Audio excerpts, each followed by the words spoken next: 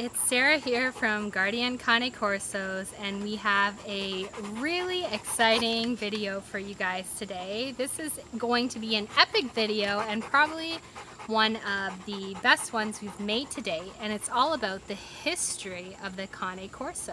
In this video, I will be sharing everything I possibly can on the history and facts of the Cane Corso. What's in the name, where the breed descended from, how did the breed get to the USA, what are some of the earliest artifacts that depict the Cane Corso, and much, much more and we will be doing our best to answer some of the questions that have never before been answered, such as, is American Cane Corsos actually true Cane Corsos, huh?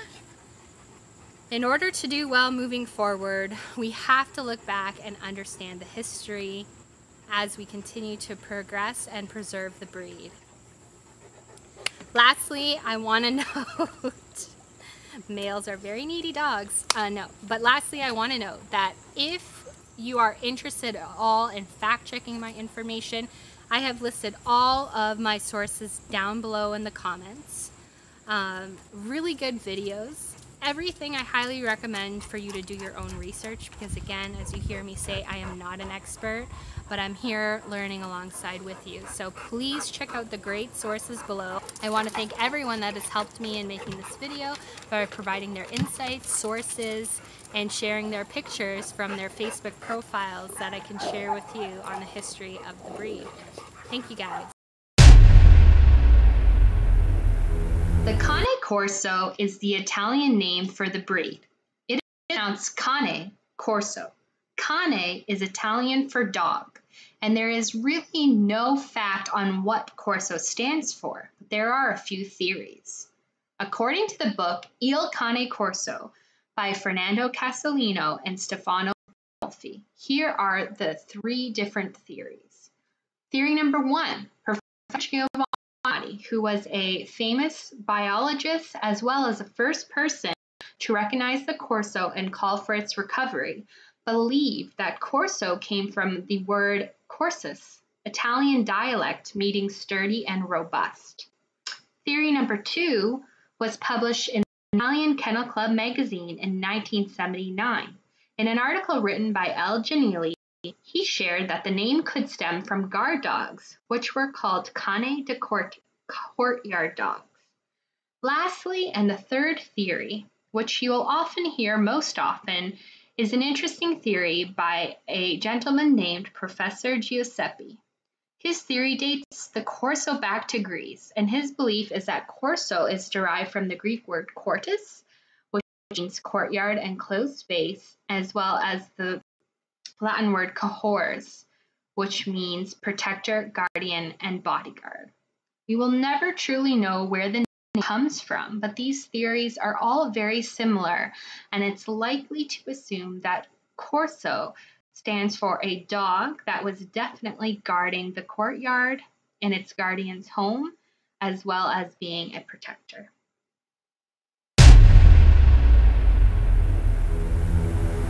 Early in the 19th century, it's important to note that dogs were bred based on functionality. Good working dog, bred with good working dog. Good hunting dog was bred with good hunting dog. This would ensure that the dogs would continue to reproduce dogs that were needed for the task and could be sold to other farmers for similar purposes. So just wanted to explain that as we jump now into some of the earliest artifacts that we can find on the Cane Corso. One of the most popular dog types believed to be behind the Corso is the Molossoid. Today we will talk about two types of Molossoids. Number one, the Canis pugnax. That dog was known to be lean and tense and accompanied the Roman troops into battle. This is now believed to be what has descended into the Cane Corso. The second type of Molossoid is the Pugnacis britanniae. It was a powerful guardian of war camps and forts. It is believed that this is the dog that has now descended into what is now known as the or at least was. There is other theories for where mastiffs descended from. The English Mastiff group in the Gammon documentary believes that English Mastiffs possibly descended from the ancient Alaunt.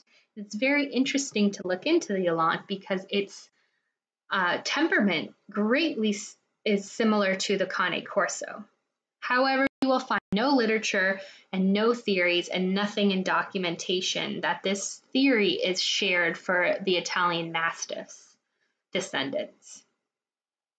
Cane Corsos, as well as Molossoid dogs, were also known as Mastinos, Doggos, Alanos, and Molossos, depending on which part of Italy you were in. It is believed the Molossoid was used to create the Rottweiler, St. Bernard, Perro de Presa, Dogue de Bordeaux, and the English Mastiff. Many Corso enthusiasts have searched endlessly but have never been able to turn up enough evidence to really discover the true facts behind our breed's history. There is, however, documented literature as early as the 1400s and 1500s, and much more beyond if you look at the Mastiff, that you can actually see the breed name Cane Corsi written in the literature. These literature pieces mainly refer to the Cane Corsi as a valuable hunting dog that has impressive bite strength, is brave, and has great speed.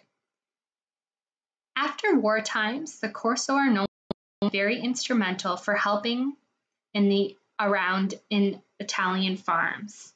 They helped with many different tasks and livestock. Corsos were often let loose at night to roam the farm to help protect against thieves and livestock predators. On cattle farms, they could take over most of the duties that cowboys used to perform by watching over the cattle herd and protecting them from predators. Corsos belonging to cattle butchers had the toughest jobs. These dogs often had to accompany herds on very long trips that often required overnight while they were on the way to slaughter. Keeping a cow calm is a tough task, and they had to be kept together as well on this journey. It didn't matter if predators came by or thieves that would try and scare the herd. This is why you will hear the Corso considered the Italian herding dog. Corsos also worked with sheep and goat farmers alongside the Abruzzo sheepdogs to help the farmers and protect the herd against predators. Corsos were known for holding prey down by the ear until the owner could make the kill. They were often always seen beside their to help them in their jobs and tasks as well as seeking companionship. Corsos were even found on swine farms. They had the tough job of finding the sow after she was allowed into the forest to give birth. The Corso would go in and find the sow, haltered down by the ear so the farmer would not be attacked, but instead could gather the piglets so they could all return safely back to the farm. It is also worth mentioning that Corsos were part of hunts for game such as boars, badgers, lions, and bears. All right, guys, before we go any further, I just want to take a moment to level set. Okay, because you guys know on my channel, I like to tell the truth and I like to keep it real. But unfortunately, the facts about the history of the Cane Corso just aren't, you know, what I thought they would be. They aren't pretty. There's a lot of politics, there's a lot of opinions, and it's really hard to know the truth uh, behind the Cane Corso, especially here in America. You have issues between Italy and the US, as you'll see throughout the timeline that we're going to share. You have issues between some of the original people involved with the breed here in the US alone, and there's many of those politics that are still continuing today and so this video today is going to focus on the facts because that's what's appropriate to include on the history of the Cane Corso. And you're going to see we're just not going to have some answers because we're going to talk about the facts. I am going to make a part two video on my opinion and some other people's opinions that have been shared with me. And I also would like to include your opinion. So if you have a question, if you have a theory on the history of the Corso, put it in the comments below. And if you are interested on those opinions, you know, and theories that are floating around, definitely subscribe to our channel um, and hit that notification bell because we will be doing a part two follow up to this video where we talk more candidly about this uh, history of our beloved breed. And if you're new to this channel and this is the first video you're ever watching here, you may be wondering, who the heck are you? I've never heard of Guardian Cane Corsos. I've never heard of this Sarah girl before. Who does she think she is? Why does she think she's qualified to make this video? Well, you're right. I'm not qualified. All I did was research books, whatever is available publicly. I do not have the experience to know this myself. So this is all what I could find publicly and I would love it, love it, love it. If you are an expert, you want to come make a video, I'm happy to film and do the editing for you. You know, um, we need more experts who have been around the breed for decades to help fill in these blanks for people that really are passionate about the breed and want to make a difference.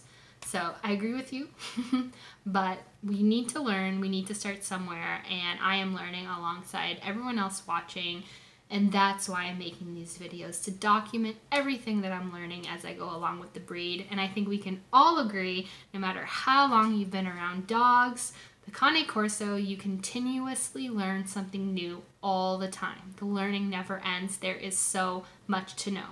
Nobody's perfect, no dog is perfect, no breeder's perfect, and so some mistakes were made along the way. You'll make some mistakes along the way, so let's just keep that in mind and keep things polite. Any mean comments will be blocked and deleted, but definitely constructive comments always welcome.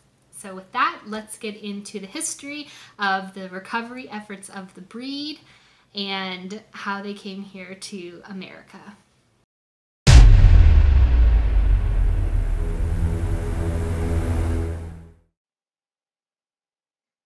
In 1957, Professor Giovanni Bonatti published the first article mentioning the need to save the Cane Corso. Through his important work, was able to garner enough attention that would finally lead to helping save this wonderful breed. It wasn't until the 1970s that the breed recovery work started. In the 1980s, the general public started to learn more about the breed and became aware of the Cane Corso, which increasingly led to the success of the Corso's recovery efforts. In 1983, the SAC, the Society Amatori Cane Corso is formed by Dr. Breber and five others. The breed standard is published in Dr. Giovanni Ventura's book called Il Cane Corso. In 1984, the SAC contacts ENC, the Italian Kennel Club, to start the process of recognizing the Cane Corso as a breed. Two years later, in 1986, the ENCI assigns Dr. Antonio Morsiani to draft a standard for Cane Corso. Based on the evaluation of about 90 Corsos, Basir and his sister were used as the male and female prototypes for the standard. A year later, in 1987, the official standard of the Cane Corso is approved by the Italian Kennel Club ENCI. In 1988, a survey was done on more than 50 Corsos from several locations throughout Italy to compare their resemblance to the newly proposed standard. The NCI was presented with the results.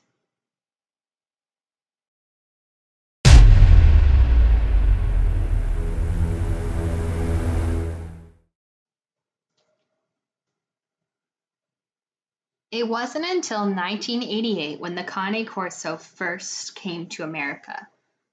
Mike Sottile Sr. was a Neapolitan mass breeder from the U.S. He was also the self appointed president of the Neapolitan Mastin Club of America, which was a focal point on neo breed information and hosting rare breed dog shows. Mike was an accomplished breeder and was also recorded to own two national champion bull terriers. You can see he was featured in this New York Times article for his Neo at the rare breed shows. In 1998, when Mike was in Italy for family affairs, he came across some dogs that he didn't recognize. They piqued his interest. During this trip, he made a deal with an Italian farmer and imported a large litter of pups. A pregnant dam was flown to the US and was called a rare Sicilian Branchiero. Unfortunately, after the dam had passed away along with multiple puppies. Mike Sottile Jr. is quoted in the Molossil magazine article saying that there was 13 surviving pups. I cannot figure out what happened to all the puppies, but six out of that litter have been documented and are often referred to as the Super Six. There can be many theories as to why, but I unfortunately do not have any facts as to what happened to the other seven dogs. The only thing that is documented is that some of the original dogs had health issues such as hip dysplasia. Also, in 1998, Mike Sottile drafted his own breed standard for the Sicilian Branchiero and registered all his with his privately owned registry, the FIC, which stood for the Federation of International Canines, not confused with the International FCI registry. I have not been able to find any evidence that this independent registry, the FIC, still exists today. It is widely speculated but not documented that Corso breeders had cross litters with other breeds. With a limited gene pool, this could be understandable given breeding related dogs can cause health and temperament issues. Some of these suspected some of these suspected breeds used in crosses are Rottweilers, Dobermans, Boxers, Shepherds, and Neos. There is no facts or admission that this was ever done in the Corso recovery efforts.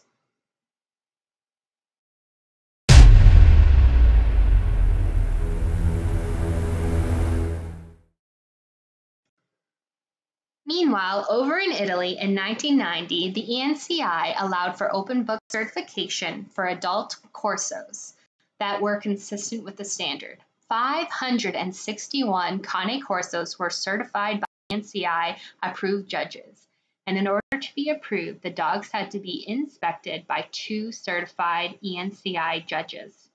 Any pups that were born from two certified parents were eligible for registration in the open book as well, as well as any offspring born from these dogs. In 1991, Dog Show was filmed on a visit to Italy from Mike and Ed, and a third litter was born to Allaire Kennels. You can find a link to the film below in the description. In 1992 and 1993, Mark and Tracy Wilson, which were known for DeGuardia Kennels, and Ed and Christy Hodis which are known for Belmonte Kennels, formed the International Cane Corso Federation, also known as the ICCF in the United States. The Wilson Hodis opened and incorporated a privately owned for-profit registry for the Cane Corso. In 1994, in Italy, the ENCI recognizes the Cane Corso as the 14th Italian breed. In late 1994, it was decided to split up the ICCF. The Hodis family would maintain control of the privately owned for profit registry, while the club would be reformatted to be more in line with a typical AKC club, which included elections, constitutions, board of directors, and regional vice presidents.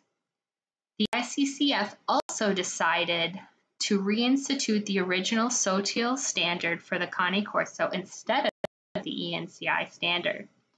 Soon thereafter, ICCF and the SAC in Italy parted ways. The US no longer had any ties to the Cane Corso's country of origin in Italy. In 1995, Mark Wilson and others continued to travel to Italy on several occasions. Mark Wilson met with the SAC to try and obtain recognition for the ICCF as the approved American Breed Club. Unfortunately, sometime after that, the Wilsons stepped away from the for personal reasons. In 1996, the Cane Corso is presented to FCI, which is the global internationally recognized dog registry. It's important to note that the FCI is not the same as the Sottile FIC privately owned registry in the US, as previously mentioned.